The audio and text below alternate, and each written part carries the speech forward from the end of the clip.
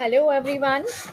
In this video, I am going to share with all of you if you are a teacher and you have created a Google Classroom and you are through with your class, then how you can archive your class.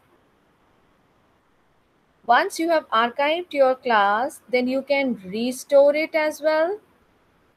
And then you can delete your class if you wish to. So I am taking you to my Google Classroom and sharing with you the process.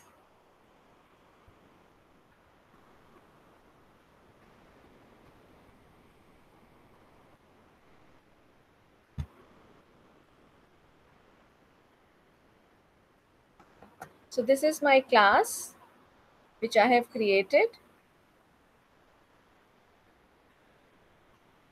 Now in the Google Classroom section, in the class on the top, you see these three dots. Click on these three dots.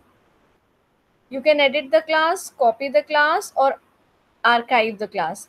So I want to archive it. So click on archive. So it is saying that you and your students won't be able to make changes.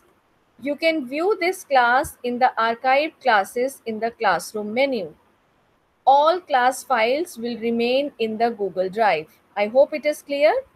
Now click on the archive button and the class has shifted to the archived classes. Now from where we can find it. So you see that in the classes section, one more section has been created which says archived classes. So click on archived classes, you will find your class here. Now, if you click on these three dots, it says copy, restore or delete. So if you wish to make a copy of this class, you can do that. If you wish to restore this class, just click on this icon and it will be visible in your Google Classroom section. And in that case, students can do their work and teachers can post as well.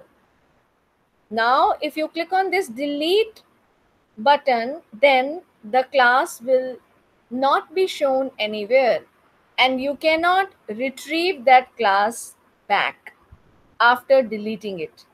So I hope this will help you to understand about how to archive a class, delete a class, restore a class, copy a class. So this is the way we can take care of our Google Classroom. So I am going back to